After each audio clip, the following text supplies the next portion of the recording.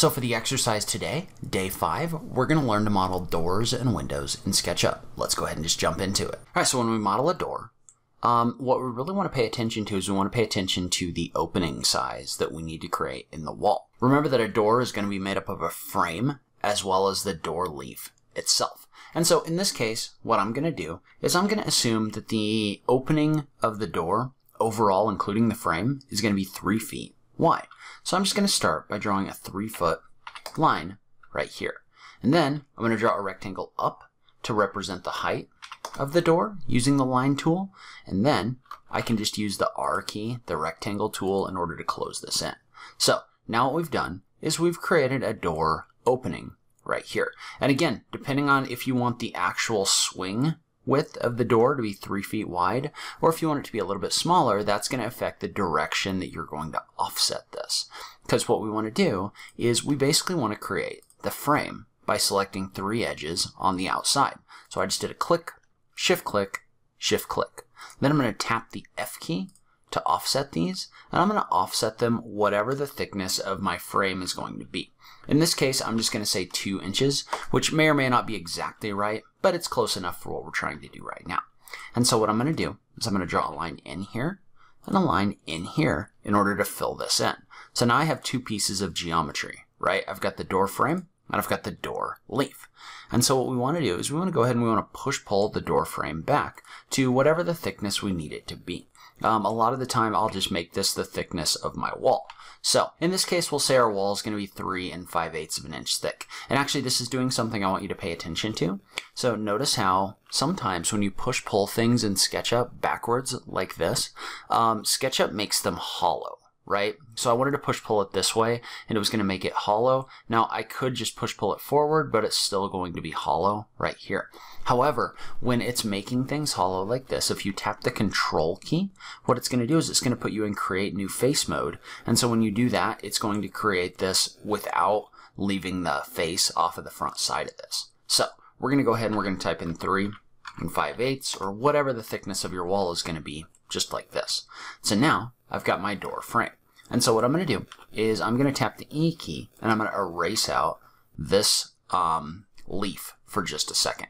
So I'm going to take this whole thing, right click on it, and I'm going to make it a component and we'll call it door frame.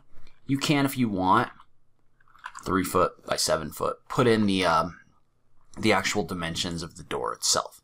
But now what I want to do is I want to draw the door that goes inside of the frame. And so to do that, I'm going to start by drawing a rectangle on the backside right here. So I'm just going to draw this rectangle, and then I'm going to push pull it a little bit, and I'm going to give it a little bit of thickness. And in this case, I'm not actually 100% sure how thick a door would be, so we're just going to say 2 inches right here. So we're just going to push pull this 2 inches like this. And then I'm going to take that whole thing, I'll do a shift click to deselect the frame, I'm going to right click on it, and I'm going to call this door leaf 3 foot by 7 foot, like this. So now I've got a door leaf in here. Well, the cool thing about this is um, because we've set this up level with this back edge right here, we could take it and rotate it um, in order to simulate the door actually being open and closed. We're not going to worry too much about that just yet. And then if you wanted to, you could come in here and you could model out something like a um, like a doorknob. And so we can just create a guide. So I'm just going to say that this doorknob is going to be three foot six inches high. So I'm going to click in here, click on this tape measure tool, and I'm just going to create a guide. Remember to tap the control key so that you're in create guide mode. But then I just want to create a guide that's three foot, six inches high, or however high you want your doorknob to be. And in this case, I accidentally put that on the frame when I want it to be based on the door. But Then I'm just going to come in here and I'm just going to draw a circle so we'll say it has a radius of one inch. And then I'm just going to use the push pull and the scale tools in order to just kind of detail this out a little bit. I'm not looking to be ultra precise. I just want to push pull this out, use the scale tool to kind of scale it in. I'm going to push pull it out again. And again, I mean, you could try to model this based on an actual like knob if you wanted to. Generally, in that case, I recommend that you go into the 3D warehouse and look for something like that. But um, you can come in here and rough this out really easily.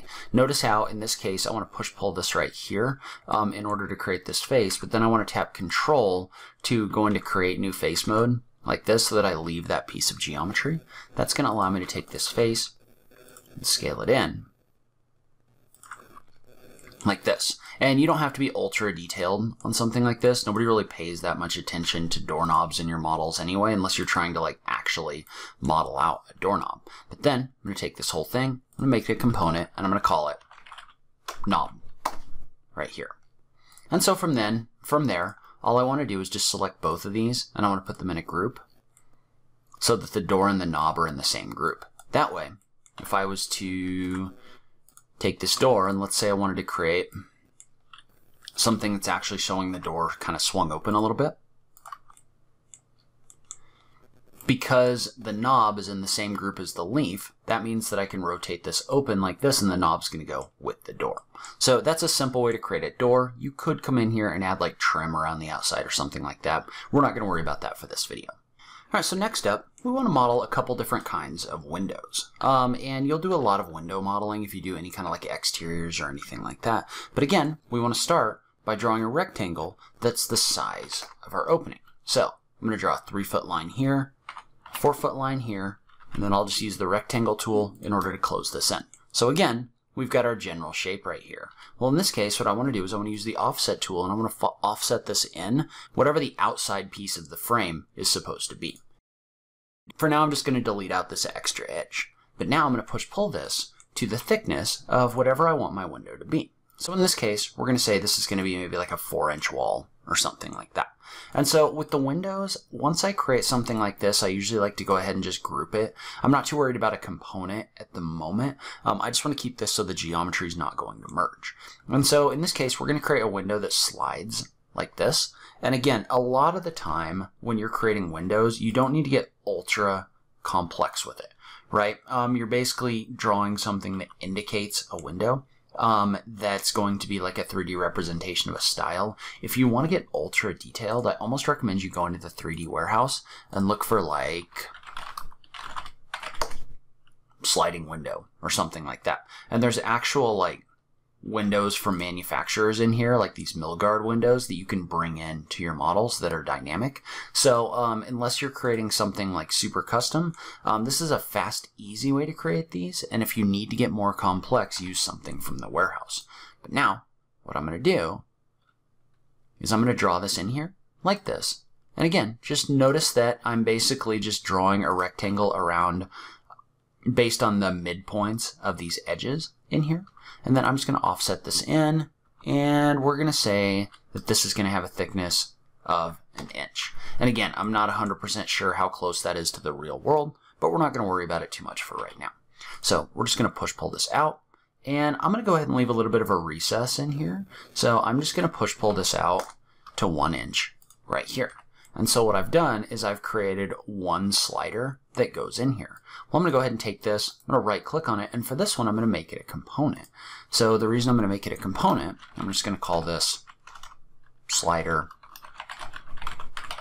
horizontal, is that way I can make a copy of this, so I can use the move tool in copy mode. I'm going to pick up this corner right here, and I'm going to create a copy that aligns with this corner right here.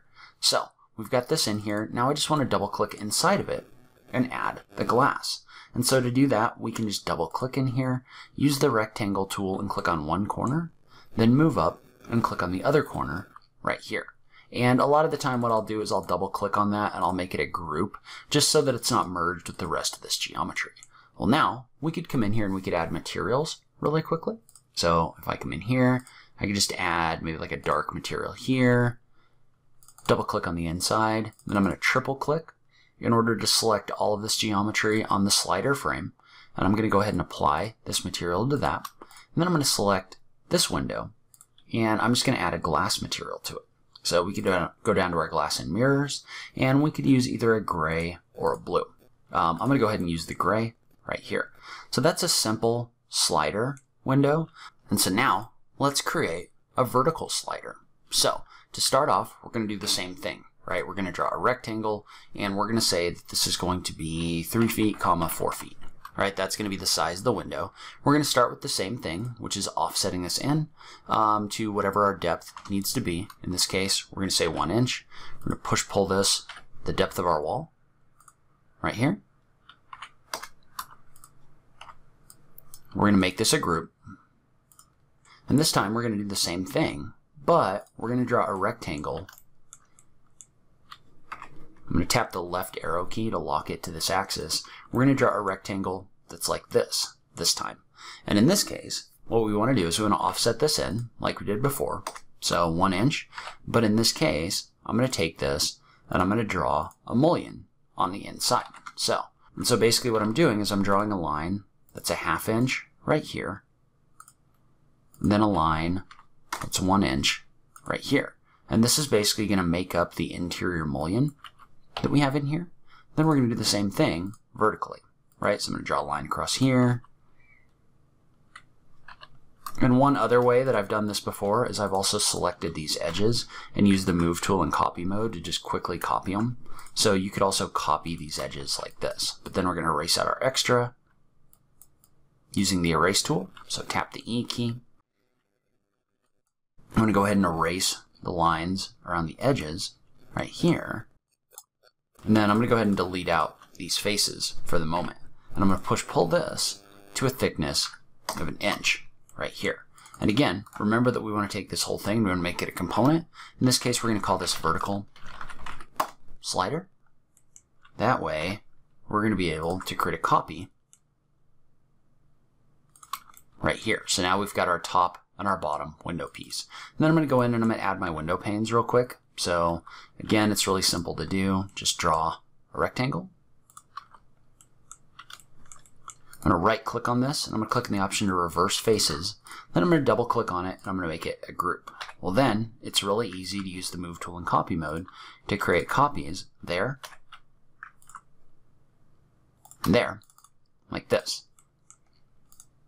And then for this kind of window, I generally like to add some trim or something like that because right now it looks just a little bit weird. So um, what I'm going to do in this case is I'm just going to draw a rectangle around the outside. I'm going to assume that I'm going to have like a four inch piece of trim around the outside. So I'm just going to draw or offset this by tapping the F key and clicking and offset that outward. And then I'm just going to push pull this out whatever the thickness of the trim is going to be. We're going to say maybe like 5 eight, 5 eighths or something like that in this case. But then we make this a group and notice how I made a mistake in here. When I created copies of this, I didn't make these components, and I should have because they're repeating. So what I should have done is I should have right-clicked on this, done a make component, and I should have called this glass pane. That way, when I added the material to it, it would change on all of them instead of me having to add it to four different pieces inside of my model. So I'll make the link for the next video available on this page as soon as I have it done. In the meantime, remember that you can go to the sketchupessentials.com slash 30 days in order to download these example files. So I think I'm falling behind on my competition with SketchUp, so if you haven't hit that subscribe button, please do that to help us pass SketchUp before Basecamp. As always, thank you so much for taking the time to watch this, and I'll catch you in the next video. Thanks, guys.